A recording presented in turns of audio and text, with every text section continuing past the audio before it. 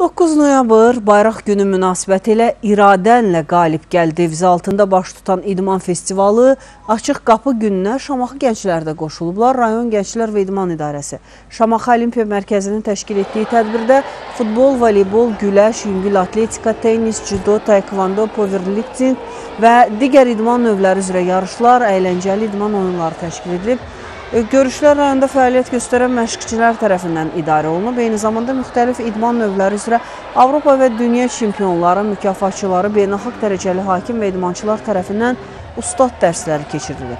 Festivalın təşkilində məqsəd idmanın kütləviliyini artırmaq, gənclərin olimpiya hərəkatına qoşulmasına dəstək verməkdir.